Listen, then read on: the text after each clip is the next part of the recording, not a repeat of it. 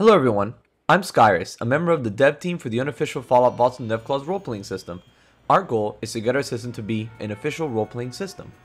If you would like to support this project, like, comment, and subscribe to our channel and follow our other social medias in the description below to keep up to date with the development of the system. Today, we'll be going over the primary and secondary statistics of the system. We are covering general information only. If you wish to look in depth into the rules, refer to the Google Doc link in the description. Let's begin. Your primary stats are your special strength, perception, endurance, charisma, intelligence, agility, and luck. Special outlines your character's main aspects of how they look and act. The higher the stat, the better you are for that special. The lower the stat, the worse you are for that special.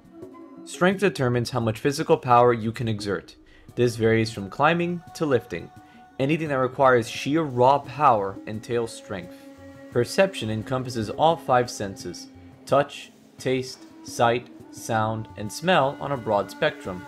When attempting to learn about broad details about the environment around you, such as any strange smells, familiar sounds, and so on, use perception. Endurance covers your overall physical fortitude and health. You would use endurance for resisting poisons and lingering environmental effects. Charisma determines your force of personality around people. The higher your charisma, the more approachable your character is.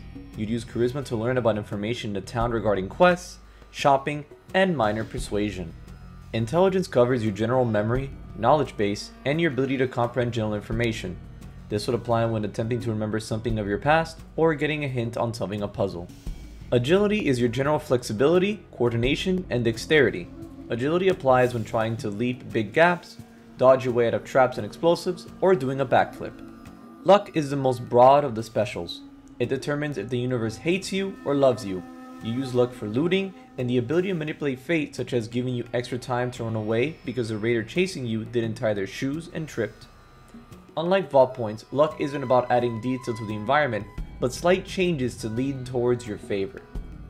Now on to the secondary stats. Secondary stats are formulas affected by your special. Action points determine the amount of points you can use for actions in combat. The formula is 5 plus half your agility.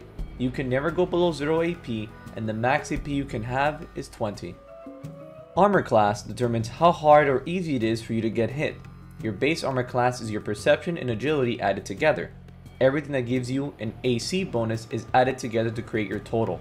The lowest AC you can have is 0 and the highest is 150. Carry weight determines the amount of weight you can carry. This is affected by your size, strength, and endurance. Refer to the table under K-weight for specifics. Critical chance determines the likeliness to get a critical success or failure. Your luck determines your success and failure range.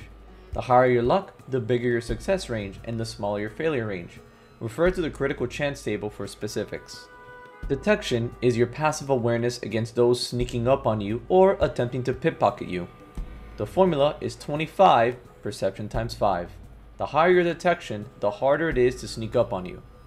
Hit points determine the amount of psychological and physical damage you can sustain. The formula for HP is 15 plus strength plus endurance times 2. As long as you're at 1 HP, you're not dead. Limb resistance determines how many times you can take a targeted attack before a body part can be crippled. Your limb resistance is equal to your endurance. The higher your endurance, the more Brahmin milk you drink. Melee damage is additional damage added to your melee, unarmed, and non-explosive throwing attacks. It is equal to your strength. Personality determines the radius of perks related towards boosting allies, ruining enemies, and sensing who's in danger. The formula is charisma times 10 feet. It wouldn't be Fallout without radiation. Radiation resistance determines how resistant you are to overall radiation. The formula for this is endurance times 2. Some armor and items can increase this. Every time you're inflicted with radiation, you subtract it by your radiation resistance and the result is inflicted towards you. Sequence determines your initiative in combat and what your place is in turn order.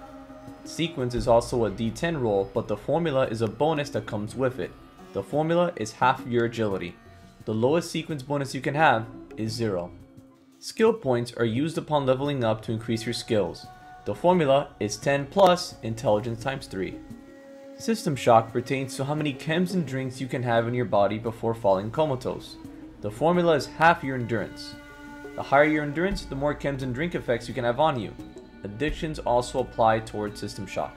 Last but not least, vault limit. Vault limit determines the amount of vault points you can have in total. The formula is charisma plus 1, and the lowest your vault limit can be is 2. Thank you for watching this video. Please like, comment, and subscribe to keep up to date with the development of our system. We'll see you next time. Take care.